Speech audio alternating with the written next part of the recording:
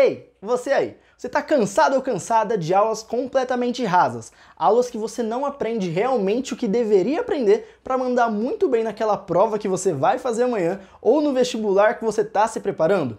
Bom, se você quer uma aula completa sobre esses assuntos aqui, hoje eu vou explicar sobre a decomposição da luz branca e também vou mostrar para vocês aqui o espectro descontínuo. Ou seja, vai ter tanto espectro descontínuo quanto o espectro contínuo aqui nessa aula. Então, se você quer aprender sobre esses assuntos, fica até o final desse vídeo que eu tenho certeza que eu vou te ajudar. Perfeito? Então, bora pro vídeo e vamos aprender.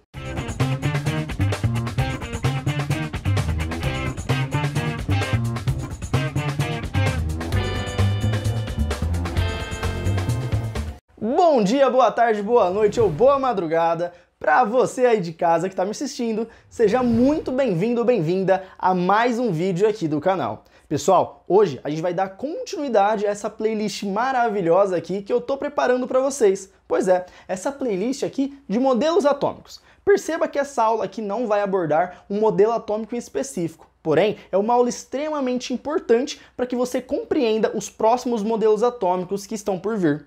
Olha só, nessa aula, como eu já disse para vocês, a gente vai ver aqui o espectro contínuo e o espectro descontínuo. Isso é extremamente importante para que a gente aprenda, por exemplo, o modelo atômico de Bohr.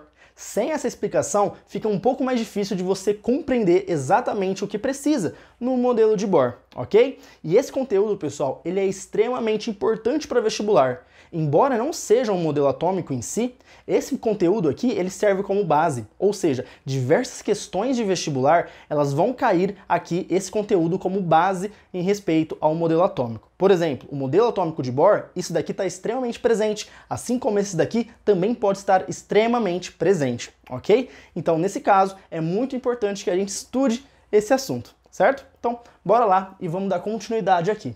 Bom, pessoal, em 1666, o que estava acontecendo? Se você olhar ali, por exemplo, em Londres, estava acontecendo a peste bubônica.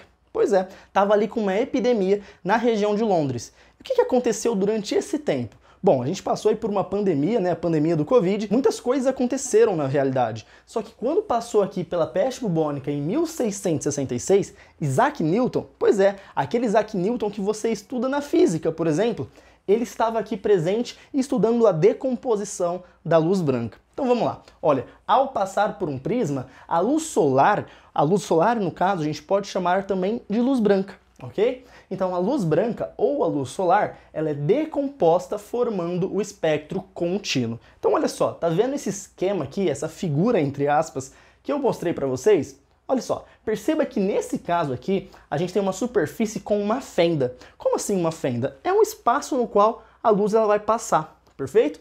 Então aqui tem o Sol representando uma fonte de luz branca, e aqui nesse caso, a gente tem aqui é, uma fenda presente, colocando, incidindo a luz aqui no nosso prisma. Esse daqui é o prisma, aqui tem a fenda, e aqui tem o nosso Sol todo sorridente, representando aqui a luz branca ou a luz solar. Passando então essa luz branca pelo prisma, ela é decomposta. E perceba que ela é decomposta formando essas cores que são semelhantes ao arco-íris.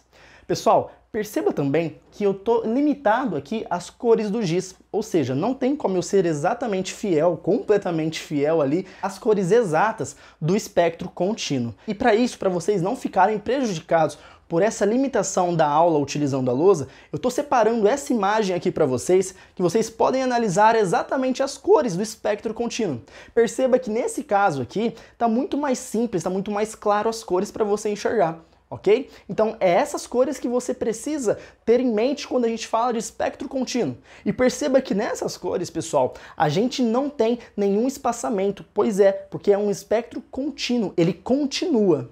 Então nesse intervalo não vai ter ali nenhuma fresta ali vazia, não vai ter nenhum espaçamento entre as cores, elas passam de uma cor para outra de forma contínua, ok? E por que, que eu estou ressaltando isso? Porque o ponto importante aqui do espectro contínuo é justamente o fato dele ser o contínuo. Quando a gente fala da decomposição da luz branca aqui pelo prisma, a gente está formando um espectro contínuo. Então, de forma resumida, é isso. Quando a gente passa aqui a luz branca, a luz solar, nesse exemplo, pelo prisma, ele é decomposto formando espectro contínuo. É isso que você tem que guardar desse exemplo e vai ser extremamente importante para que a gente compreenda depois o espectro descontínuo. perfeito? Então vamos dar continuidade aqui. Outro carinha importantíssimo aqui foi o Robert Bunsen. Se você está familiarizado aí com laboratórios de química, tenho certeza que você já ouviu falar aí do bico de Bunsen. Pois é, sabe o bico de Bunsen? É exatamente em homenagem a quem? Robert Bunsen, que lá em 1855 ele fez um estudo em relação aqui ao teste de chama, ao fogo colorido, de certa forma que a gente pode dizer, e eu já vou explicar isso para você. Pessoal, nós temos que compreender aqui, quando um composto ele é submetido sob uma chama, ele vai emitir cores características. Ou seja, se a gente pegar um composto que tem ali presente o sódio, ele vai ter uma coloração característica quando ele é submetido à chama.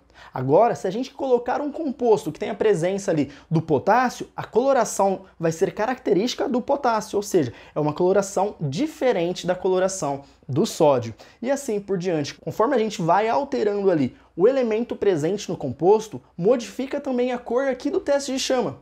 Mas será que isso é muito distante da nossa realidade? Será que a gente consegue fazer esse teste em casa mesmo? Bom, se você tem essa dúvida, faz o seguinte, eu vou fazer um experimento agora com você no fogão da minha casa, ok? Então, vou dar um corte nesse vídeo e vou inserir aqui o vídeo do experimento aqui no fogão da minha cozinha. Bom, pessoal, então agora eu vou mostrar para vocês na prática o que é o teste de chama. Aqui vocês vão perceber que a gente consegue sim fazer alguns experimentos químicos na própria casa de vocês perfeito? Nesse caso, o que a gente vai utilizar? Um fogão, uma fonte de fogo simples. Vai utilizar também aqui uma espátula, no caso que eu estou utilizando. Caso você vá fazer isso em casa, pelo amor de Deus, tome muito cuidado, porque esse experimento ele envolve fogo, então tem alguém ali próximo a você para que não aconteça nenhum acidente tá bem? E caso você não tenha uma espátula como essa, você pode facilmente utilizar, por exemplo, uma colher. Só que caso você utilize uma colher, tome muito cuidado com o material que essa colher é feita. Por exemplo, se for uma colher de madeira, você já não pode utilizar. Por quê? Porque ela vai ao fogo, então pode ocasionar algum acidente. Evite também utilizar, no caso, colheres que têm um cabo de metal, que não tem aquele cabo de plástico, sabe? Porque senão você pode acabar se queimando. Perfeito? Então vamos lá. Além dessa espátula e do fogão, a gente vai utilizar também o cloreto de sódio. Cloreto de sódio é conhecido também como sal de cozinha ou o NaCl. Perfeito? Então vamos lá. Primeira coisa que eu vou fazer aqui, pessoal, é ligar o fogo para vocês. Perceba que está um fogo normal. Aqui no caso está sendo utilizado o gás GLP. E o que, que vocês acham que vai acontecer quando eu colocar essa espátula vazia aqui no fogo? Bom, então antes de eu colocar, já para esse vídeo e imagine o que, que vai acontecer para ver se você consegue adivinhar. Vamos lá? Olha só, perceba que não aconteceu nada, certo? Não aconteceu nada. Mas o que, que acontece no caso se eu colocar um pouquinho de sal de cozinha? Por exemplo, aqui agora, tá vendo? Isso daqui é sal de cozinha. O que, que vocês acham que vai acontecer quando eu colocar sal de cozinha no fogo? Vamos lá? Olha só. Tá vendo que legal? A gente muda aqui a coloração do fogo ok? Isso daqui, no caso, é o teste de chama. A gente está fazendo aqui o teste de chama na prática. Lembra que eu falei que esse daqui é o cloreto de sódio, ou NaCl? Aqui nesse composto, a gente tem presente aqui um elemento químico chamado sódio. E é justamente o sódio que ele está dando essa coloração. Olha que legal. E aí, o que vocês acharam? Gostou desse experimento? Comenta aqui no vídeo para eu saber o que vocês estão achando. Legal, né? Tá vendo como que a gente pode fazer experimentos de química na nossa própria casa? Pois é, eu tenho certeza que é muito mais acessível o acesso a um fogão de cozinha do que a um bico de Bunsen. E perceba que ali no fogão de cozinha, junto com sal de cozinha também, o NaCl, o cloreto de sódio, você já consegue fazer aqui o experimento do teste de chamas. Você já consegue também verificar como que altera a coloração ali da chama só pela presença do sódio. Então olha que incrível que isso daqui é, pessoal. Vamos dar continuidade. Então, sabendo agora o que é um teste de chama e entendendo na prática já como que um composto, é, quando é submetido a uma chama, tem uma cor característica, eu quero trazer mais um exemplo para você. Olha só, eu achei um vídeo aqui que ele está livre de direitos autorais, então eu consigo colocar esse vídeo para você aqui nessa aula. E sabe qual é a importância disso? Porque no experimento que eu fiz com vocês no fogão da minha cozinha, eu utilizei apenas o elemento sódio. Só que é interessante que vocês analisem também as diversas cores que podem aparecer com outros elementos, ok? Então agora eu estou colocando outro vídeo aqui na tela para vocês e vocês vão conseguir analisar essas diferenças cores com outros elementos. Bom, aqui no caso a gente tem o sódio, né, que foi o mesmo elemento que eu utilizei com vocês lá no fogão. Perceba que é a mesma cor no caso, né? Aqui ele é um amarelo puxado para o alaranjado. Ficou uma cor bem característica. Essa fonte de fogo aqui, pessoal, está sendo utilizado no bico de Bunsen. Lembra que eu comentei com vocês em aula? Muito bom. Já o potássio, ao meu ver, o potássio é uma das cores mais lindas que a gente consegue obter aí com o teste de chama. Olha que legal, pessoal. Puxa para o violeta. Muito bonito, né? O que vocês acharam? Comenta aqui para eu saber. Ao meu ver, é uma cor muito linda que a gente consegue obter, no caso, né, pelo teste de chama. Já o próximo elemento químico que a gente vai ter aqui é o cálcio. E o cálcio ele parece um pouco, de certa forma, com o sódio, só que no caso aqui ele está puxando mais para o tom do vermelho. Então perceba, pessoal, que nesse caso aqui está sim puxando um pouco mais para o tom do vermelho perfeito? E caso você queira ver o vídeo original, tô deixando aqui na descrição o link desse vídeo no YouTube. Olha que legal, pessoal! Então perceba quão linda a química é. A química, ela não é só essa parte, digamos, chatinha, que algumas pessoas têm raiva, que o professor explica aqui na lousa. A química, ela é linda. A química, ela mostra ali na prática uma beleza surpreendente. Eu tenho certeza que você gostou desses experimentos que eu estou mostrando aqui para vocês. Mas vamos lá. Então agora a gente já viu aqui bem mais aprofundado o teste de chama, como acontece na prática, com diversos elementos. Já entendemos aqui como que um composto ele vai apresentar uma cor característica aqui quando ele for submetido à chama e nós compreendemos também o fogo colorido que isso é gerado, ok? Então, sabendo agora todas essas características aqui que a gente estudou pelo Bunsen e também como que funciona o espectro contínuo, a gente pode dar continuidade e estudar aqui o espectro descontínuo. Vamos lá? Então, olha só, pessoal, aqui no espectro descontínuo é muito importante que você tenha compreendido os assuntos anteriores, por quê? Porque olha só, ao submeter a luz emitida no teste de chama, ou seja, sabe aquela luz que a gente gerou ali na chama, que modificou a coloração da chama?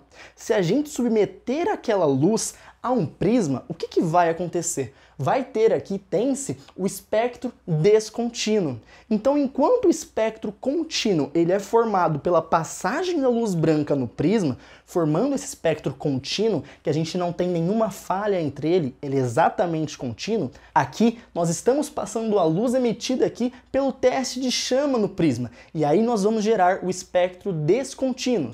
E o espectro descontínuo, nós vamos ter dois tipos, o espectro de emissão e o espectro de absorção, que eu já vou explicar para vocês. Vamos lá. Olha só, quando a gente trabalha aqui com espectro descontínuo, nós temos que ter em mente que eles apresentam linhas finas e separadas. Perceba nesse caso, olha, que ele não é contínuo, ele tem falhas entre ele, ou seja, elas estão separadas, apresentam linhas finas aqui, ok? Quando a gente analisa aqui também, é bem semelhante ao espectro contínuo, só que nesse caso ainda a gente tem falhas, ele não é contínuo. Então vamos lá, Cada elemento vai produzir um espectro descontínuo característico, que é exatamente aquilo que a gente verificou lá no teste de chama. Perceba que no teste de chama a gente apresentou diversas cores, certo? E cada cor dessa que a gente submete a um prisma, a gente vai ter um espectro descontínuo diferente. E é por isso que nesse tópico eu ressaltei para vocês que cada elemento produz um espectro descontínuo característico. Tanto que o espectro descontínuo aqui, ele pode ser utilizado para você apresentar aquele elemento, para você saber identificar aquele elemento pelo espectro descontínuo, tá bom? E é por isso que nesse tópico eu coloquei para vocês aqui que ele pode ser utilizado para detectar a presença de um determinado elemento, porque se cada elemento ele tem um espectro descontínuo característico para ele, então concorda comigo que a gente pode utilizar isso para detectar a presença daquele elemento naquela substância, naquele composto. Ok? Isso aqui é muito importante, pessoal. Isso aqui pode sim cair em vestibulares. Vamos lá. Olha só, vamos analisar aqui como que é o espectro de emissão, o espectro descontínuo de emissão. Perceba que nesse caso nós temos aqui o que? Nós temos linhas finas e separadas. Olha, uma linha muito fina aqui em cada canto está separada. Ok? Só que quando a gente compara aqui com o espectro de emissão com o de absorção, perceba que o de absorção ele complementa a emissão. Enquanto esse espectro de emissão é aquele espectro que está emitindo, são as cores que estão sendo emitidas ali, no espectro de absorção está representando as cores que foram absorvidas. Ou seja, pense que a gente pegasse o espectro de absorção e colocasse exatamente em cima do espectro de emissão. O que, você esperaria que aconteceria? Nesse caso, nós teríamos o que? O espectro contínuo. Porque aqui o espectro de emissão ele vai cumprir exatamente as lacunas que estão faltando aqui no espectro de absorção. Olha que legal, pessoal. E não é difícil. Percebeu como que é simples e fácil aprender aqui um pouquinho de química, um pouquinho de física, porque isso daqui também pode aparecer na parte de física? Olha que legal também quando a gente aprende com experimentos. Então eu sempre vou instigar vocês ali a aprender um pouco mais a respeito de experimentos, ok? A experimentação ela é muito importante ali que esteja presente em aulas, tá bom? Então caso eu te ajudei com essa videoaula, eu quero pedir um favor para você. Pessoal, essa aula aqui dá muito trabalho de construir. Eu faço tudo isso daqui sozinho. Eu que construo a lousa, eu estudo ali para montar a lousa, eu escrevo a lousa. Olha que perfeita que essa lousa tá. Tá muito bonitinha, né? Tá tudo aqui alinhadinho, legal de fazer. Então, além disso também eu gravo, edito, subo esse vídeo para o YouTube e tudo isso de graça para você. Então, se essa aula te ajudou, Faz o seguinte, me dá uma ajuda também, se inscreve aqui no canal, dá like e comenta, porque isso me ajuda demais. É de graça para você, eu juro que é de graça. Mas para mim isso ajuda de uma forma gigantesca ok? E caso você aprenda comigo de uma forma muito fácil e queira aprender cada vez mais, eu tenho uma coisa para falar para você. Tá vendo esse QR Code que eu deixei aqui durante a aula toda? Se você ler esse QR Code, você vai ser direcionado ou direcionada para o meu WhatsApp. E ali no WhatsApp a gente pode conversar para você conseguir estudar comigo de outra maneira durante o ano todo. Porque se eu consigo te ajudar durante uma aula, imagina se você estudasse comigo ao longo de todo o ano. Pois é, pessoal. Então, caso você esteja vendo aqui pelo celular, estou deixando o link também desse QR Code, que vai também levar para o meu WhatsApp aqui na descrição. Perfeito? E agora o que, que você vai fazer? Agora que você já aprendeu todo esse assunto, você pode dar continuidade. Agora você pode aprender, por exemplo, sobre Planck. Vamos entender um pouquinho como que Planck ele ajudou também no modelo atômico? Mas antes de você ir para a aula de Planck, eu vou dar aquele espaço para o seu print e te vejo na próxima aula.